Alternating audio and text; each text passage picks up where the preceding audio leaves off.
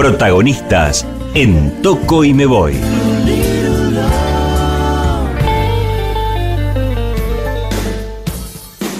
Si hablamos de atletismo en la provincia de Mendoza, hacemos referencia a un joven mendocino que ha dejado de ser una promesa para convertirse en una realidad. Campeón argentino en nueve oportunidades, entre copas nacionales, campeonatos internacionales y juegos universitarios, defendiendo los colores de la Universidad Nacional de Cuyo y clasificado al Sudamericano de Buenos Aires. Estamos en contacto con Renzo Kremaski, quien está en Entre Ríos para la disputa del Grand Prix y qué mejor que dialogar con él acerca de su presente y lo que se viene en lo inmediato para el atletismo de nuestra provincia. Renzo, ¿cómo estás? Muy buenos días. Hola Esteban, ¿qué tal? El clima agradable, así que contento. Contame cómo, cómo le estás pasando y cómo estás para la previa, este Grand Prix y este desafío que tendrás uno más en tu carrera. Eh, muy bien, esta semana he entrenado muy bien, he tenido muy lindas sensaciones, así que eh, por ahora el clima está lindo, la temperatura está muy, muy buena acá, que eso ayuda mucho. Así que me veo bien, y hay gente de nivel, así que vengo emocionado. Bueno, uno siempre en cada certamen que disputa se plantea distintos objetivos. ¿Cuál es el objetivo de este certamen previo y preparatorio seguramente para el plato fuerte que tendrá el año que es el sudamericano? Y a ver, la experiencia mía es bajar mi marca por lo menos una o dos décimas y llegar eh, cerca del recordman que es Agustín Carrera, que es de La Plata. Así que bueno, que llegar cerca o ganarle. ¿Cuál es tu marca, Renzo? Mi marca es 14 segundos 38. Bien, bien, bien. Este... Así que bueno, espero poder llegar a correr en 14-20, más o menos. Y me siento preparado para eso. ¿Físicamente estás bien? Sí, física y mentalmente estoy bien. Bien, bien. Sobre todo eso, ¿no? Muchas veces se descuida el tema anímico y es fundamental, sobre todo para... Claro, es importantísimo, porque si uno, supongamos, eh, uno entrena medio mal, uno un par de días, quizás que uno físicamente está excelente, pero estás medio bajón, no te sentís como, como querés sentirte y no, esto no ayuda. Bien, y pensando en el sudamericano, ¿es una revancha después de lo que pasó el año pasado y no poder estar en Bolivia? Eh, mira, todavía el sudamericano no estoy clasificado, pero sí, creo que es una revancha después de lo que pasó en Bolivia, que no pude viajar por un tema de complicaciones del viaje, costos.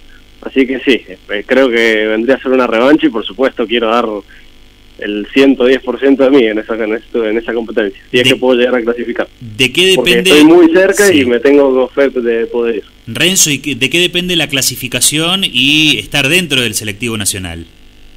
Mira, eh, es por marca mínima, siempre piden 13 segundos 90, pero al ser acá en Argentina, seguramente van a llevar el equipo completo. Y en el caso de los simples con vallas, pueden llevar a uno o dos integrantes. Así que espero que ah, seamos ser yo o que seamos los dos. Ah, perfecto. de la Plata. O sea que hay, hay claras chances de poder estar entonces. Claro, claro, claro. Entonces, bueno, me tengo me tengo fe para ir. Y bueno, hasta hoy estuve con el otro chico, también está muy bien preparado. Así que, eh, bueno, creo que la carrera va a ser linda. Renzo, ¿y la pandemia los limitó mucho en esto de, entrenar, de practicar, de trasladarse provincia por provincia? Eh, bueno, los primeros, primero y principal que se suspendieron todas las competencias, eso fue muy frustrante y después eh, no haber podido estar los primeros meses de la pandemia entrenando en la pista de atletismo. Eso también eh, afectó bastante. Yo me pude conseguir unas pesas en la, pandemia que me ayudó a, para no perder la fuerza, pero eh, la parte específica que es la de la pista la perdí. Entonces fueron sensaciones muy diferentes que no tenía hace varios años cuando los primeros días que empecé a correr de nuevo en 11 segundos largos, los 100 metros, y así empezar de nuevo.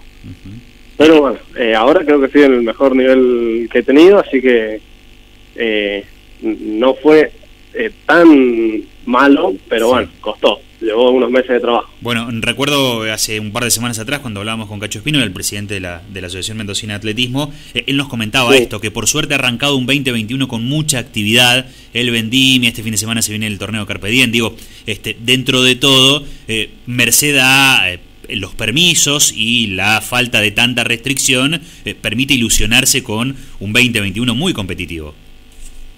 Claro, claro, empezamos con todo este 2021, hemos, empezamos con el torneo Vendimia, yo no pude, participé en la posta 4x400 nada más, pero en los dos, torneos anteriores, que nunca habíamos empezado tan temprano, eh, pude ver una buena actuación, eh, y sí, y además de estos torneos, después del Sudamericano vienen varios torneos más que vamos a organizar con la Asociación Mendocina de Atletismo, así que sí, el año viene bastante cargado. Renzo, que va a ser uno de los mejores años que se vienen. ¿Y qué nivel has visto este, en estos eh, últimos tiempos para el atletismo de la provincia de Mendoza en distintas disciplinas, en distintas actividades que, tiene nuestra provincia?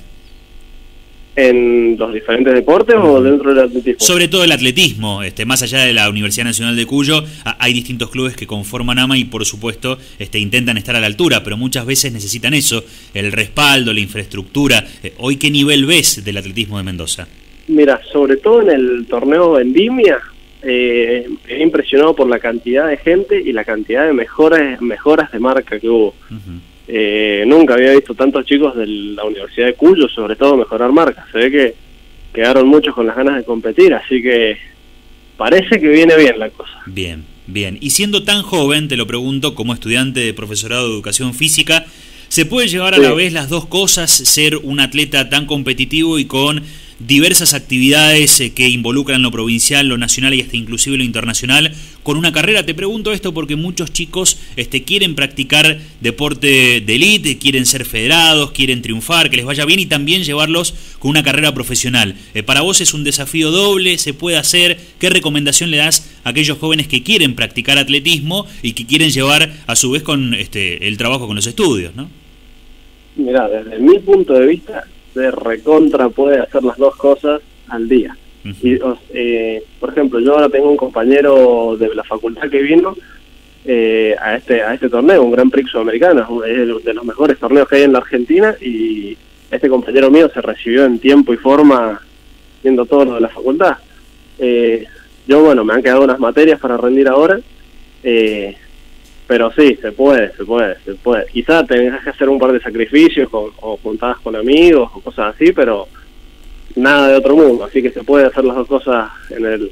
O sea, una carrera universitaria al día y está, entrenar en el alto nivel se puede, por supuesto, bien organizado. Renzo, ¿nos reiterás entonces cómo sigue eh, en lo inmediato tu carrera dentro del atletismo? Eh, ¿Qué se viene más allá del Grand Prix? ¿Cómo será este, el calendario y las actividades que se vienen en los próximos días para vos?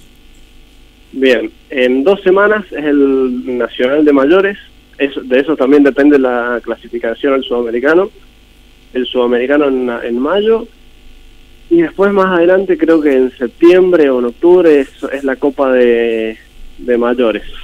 Después no sé si iremos a algún torneo en Chile o cosas así, pero ya lo importante es ahora a principio de año. Dependerá, por supuesto, del contexto sanitario, de los viajes y de los permisos que se autoricen también para la provincia. Renzo, un placer, como siempre, poder dialogar con vos. Lo mejor de la suerte es que sea un buen 2021, que logres la clasificación para el sudamericano y que sigas dándole a nuestra provincia eh, tan buenos réditos y tan buenos este, premios como los que tiene a lo largo de tu corta, pero tan apasionante carrera que estás llevando en el atletismo. Te mando un abrazo muy grande. Muchísimas gracias, Esteban. Y bueno, espero que después de este torneo podamos volver a hablar.